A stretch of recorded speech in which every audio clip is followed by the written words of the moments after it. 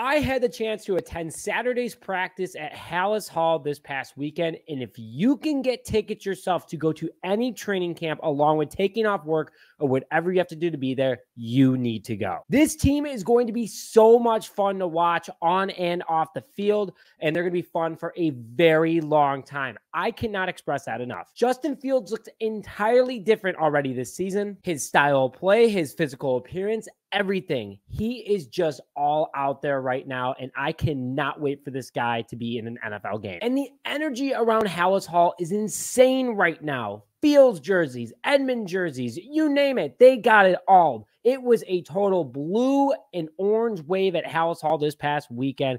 People are sold on this team, and I cannot express how, if the Bears were a Wall Street stock publicly traded, I would be buying everything I can. Shoot, I'd even take out a mortgage for it. Today, I am going to run through some of the highlights of Saturday's past practice and what you can look forward to this upcoming week for the Chicago Bears. They practiced this week on July 31st, August 1st, 2nd, 4th, 5th, and Bears Family Fest on August 6th. Also, want to give a quick shout out to Drunk Ryan Poles, The Bears Productions, and The Windy City Productions for hanging out this past Saturday at camp. We had a ton of fun, a lot of good things coming up for you guys. You're not going to want to miss this. Go make sure you follow everybody in the description below. But we have some events that all of you can be involved in, and we cannot wait. Before we begin, please hit the like button on this video, share your thoughts in the comment section below, and hit that subscribe button if you like the content. So let's go into the offense. Justin Fields' accuracy is looking fantastic. Fields was hitting deep passes all day, including the corner basket drill from over 50 yards out, and he was looking accurate. On top of it, he was also doing a very good rapid fire drill where he was hitting all his targets he had to do, clearly showing that his accuracy has greatly improved this offseason. DJ Moore is going to be special, I'm telling you. Fields and him are just clicking right now. They had an interview after Saturday's practice where they mutually agreed that the chemistry between them is fantastic right now. On top of that, they also are pretty much best friends on the field, according to all their teammates. They are looking great so far. I love what they're doing. And Justin Fields is a man of the people, brought DJ Moore in with open arms, and these guys are going to be very dangerous for opposing defenses. I want to talk about this a lot is that the offensive line is clicking very well right now. During Saturday's practice, it was seeing guys constantly talking to each other, whether you're on the first, second, or third team, going through different reps and also helping point out how to run plays, who can do better with what. And there is a ton of leadership, especially from Nate Davis and Cody Whitehair on this offensive line.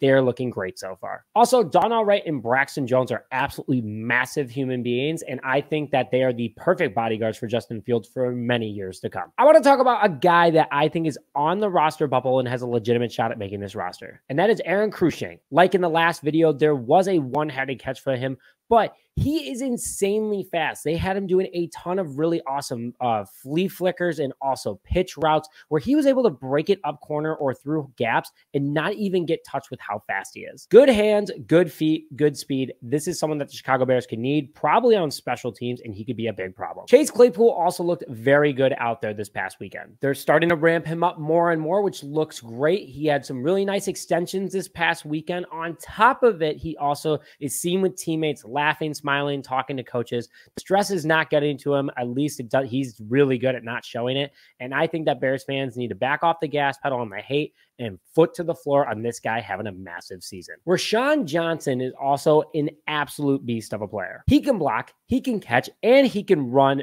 absolutely ripping it upfield at ease. And I really like what I saw out of him. I think he's going to get a ton of playing time this year. And if you haven't already, I would go out and buy his jersey. I could see this guy being on the Bears for a very long time. Room for opportunity, I'm pointing at Khalil Herbert. He struggled big time in the blocking drills that were in front of the stands that we were all sitting in. He could not block anybody, which is a huge concern. Last season, it's starting to carry on into this season.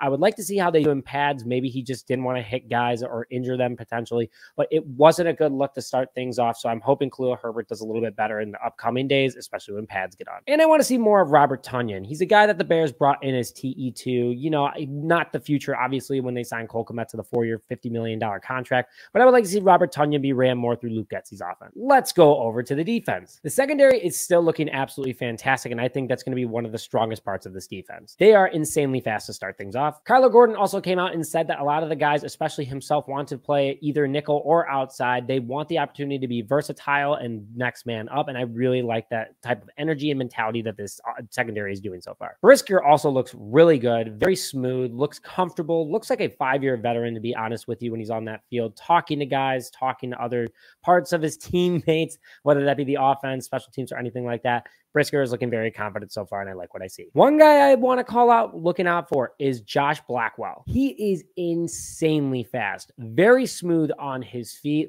got a lot of swagger too on the field. Something that the Bears locker room needs. You know, when he was on the interview a couple days ago, he said that he's more of the quiet guy in the locker room, but he's definitely starting to find his voice with this team. I am very excited for Blackwell this upcoming season, and you're going to want to make sure you keep your eye on him during training camp and preseason because this guy's going to make a lot of plays. The linebackers unit also looks really good so far as well. Jack Sanborn looks bigger and faster. Tremaine Edmunds had a nice interception, and also TJ Edwards is really starting to make trouble for Justin Fields over the middle as he keeps knocking down passes and also intercepting the ball. Not all Fields' fault. Give him that because TJ Edwards is a hell of a football player, but this linebacker core, and also a little shout out to Noah Sewell. He also looks one massive Two, really good football player.